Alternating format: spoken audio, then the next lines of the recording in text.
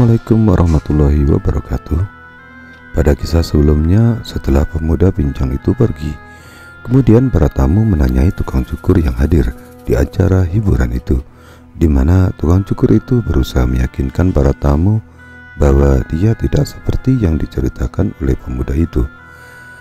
Menurutmu apa aku orang yang banyak bicara ataukah orang yang menyibukkan diri? Mungkin kau bisa menilainya sendiri. Tetapi sekarang aku akan menceritakan kepadamu sesuatu yang terjadi kepadaku agar kau paham bahwa aku memang sedikit bicara dan tidak suka ikut campur ataupun kurang ajar. Jadi begini ceritanya. Sebelum kita lanjutkan, saya mau berterima kasih kepada semua teman-teman yang terus mendukung channel ini. Semoga semua dukungan teman-teman bisa membuat saya lebih bersemangat lagi untuk menceritakan kisah-kisah dalam Hikayat 1001 Malam. Kita kembali kepada kisahnya. Aku tinggal di kota Baghdad di masa Khalifah Mustansir Billah yang mencintai fakir miskin dan ilmu pengetahuan juga para ulama.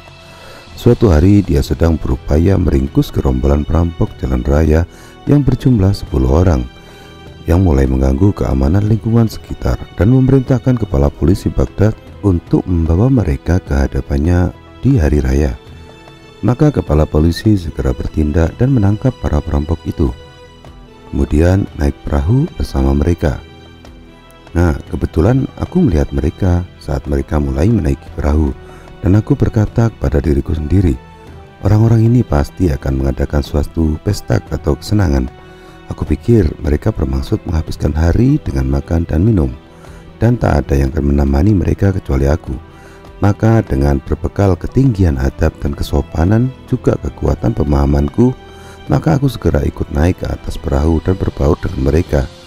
Mereka mendayung menyeberangi sungai menuju tepian di seberang, di mana ketika mereka mendarat, datanglah beberapa orang prajurit dan petugas polisi dengan membawa rantai yang kemudian mereka pasang di leher para perampok. Mereka juga ikut merantaiku bersama yang lain. Dan hai teman-teman, bisa kau lihat sendiri di sini kan? Bukankah ini bukti kesopanan dan kesadaranku dalam berbicara bahwa ternyata aku lebih memilih untuk tetap diam dan tidak berbicara. Kemudian mereka membawa kami pergi dengan rantai dan keesokan paginya mereka membawa kami semua di hadapan Amirul Mukminin yang memerintahkan Al-Gojo untuk memenggal kepala 10 perampok itu. Maka Al-Gojo itu maju dan menyuruh kami berlutut di hadapannya di atas genangan darah. Lalu ia mengunus pedangnya dan memenggal kepala para perampok itu satu demi satu sampai tak ada yang tersisa lagi kecuali aku. Khalifah menatapku dan berkata kepada kepala polisi, apa halanganmu yang membuatmu hanya memenggal sembilan kepala?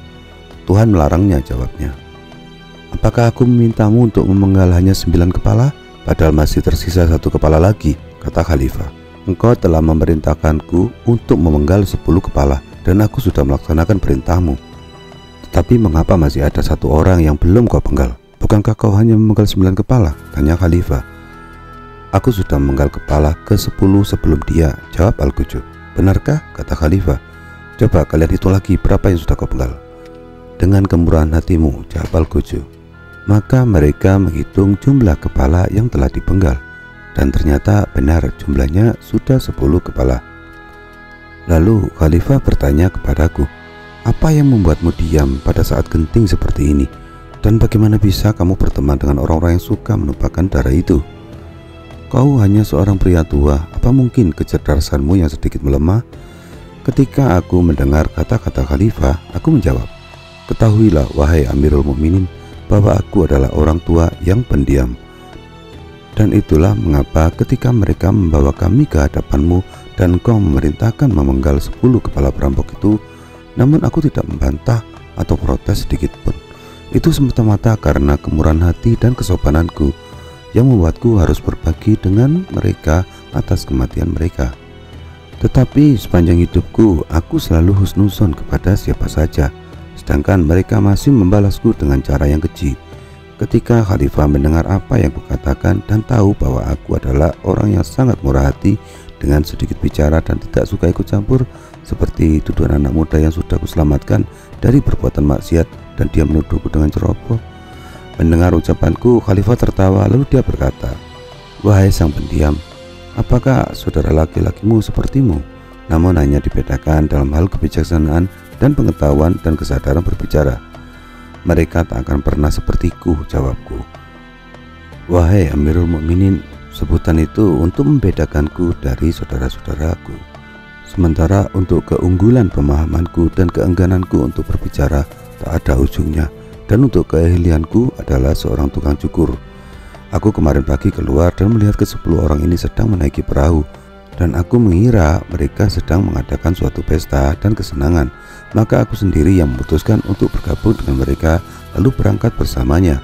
Setelah beberapa saat, tiba-tiba muncullah petugas yang mengikat leher mereka dan mengikat juga leherku. Tapi demi menjunjung tinggi adab dan kesopananku, aku memutuskan untuk tetap diam dan tidak berbicara. Hal itu disebabkan juga karena kemurahan hatiku. Khalifah tertawa mendengar ceritaku dan berkata, ada saatnya diam, ada pula saatnya untuk berbicara. Bagaimanapun, semoga Allah memanjangkan umurmu.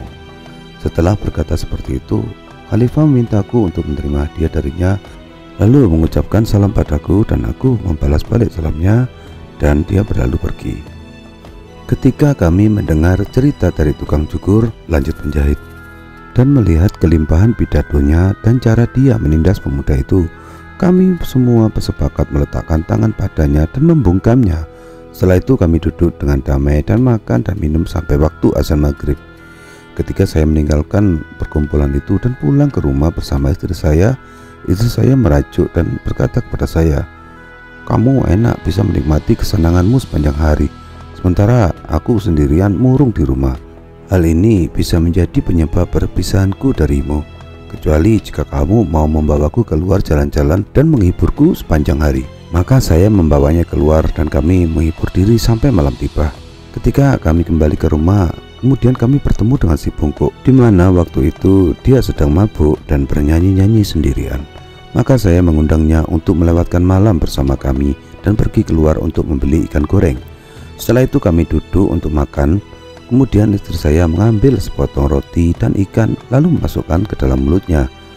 Kemudian dia lari ke dapur, tersedak dan mati. Lalu saya mengangkatnya dan membawanya ke rumah tabib Yahudi itu yang pada gilirannya membiarkan jatuh hingga ke bawah tangga.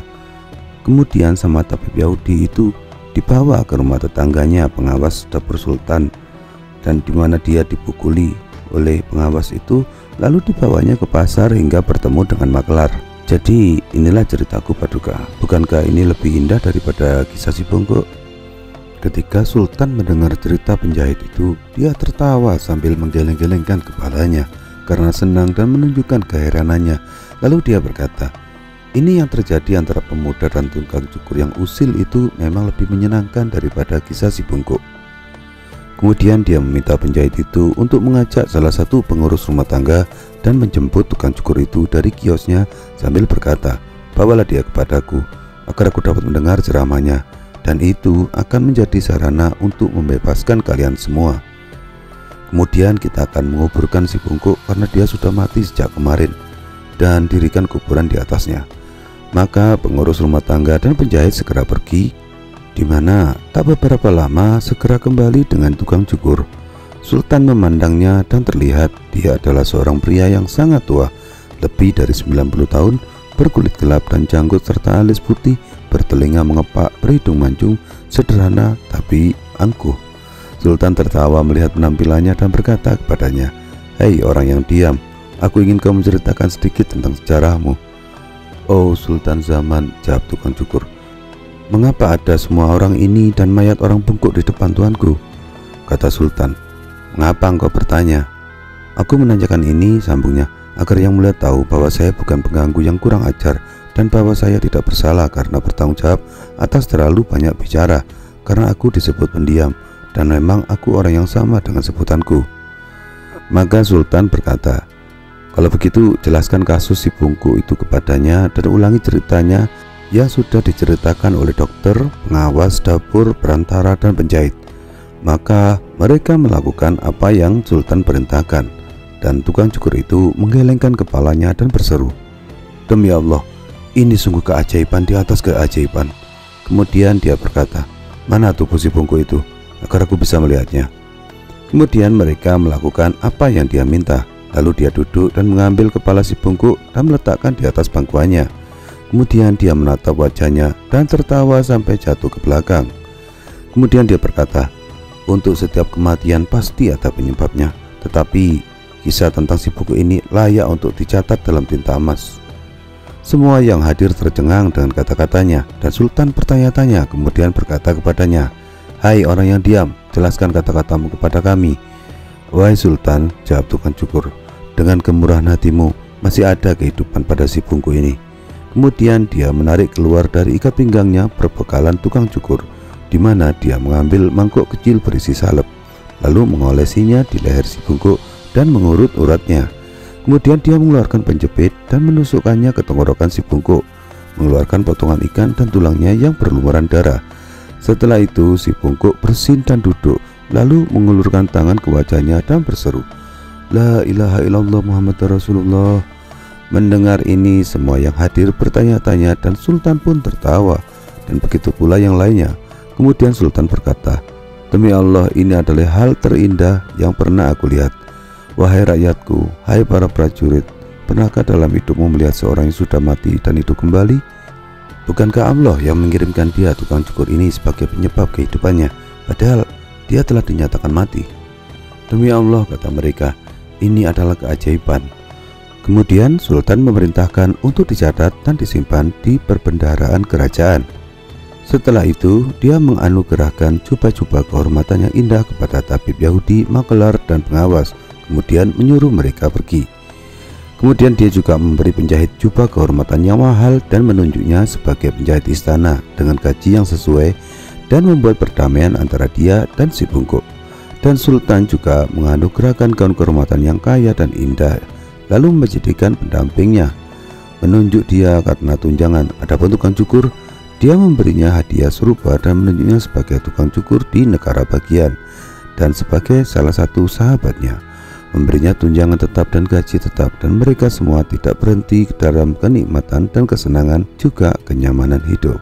Itulah akhir kisah dari si bungkuk. Wassalamualaikum warahmatullahi wabarakatuh.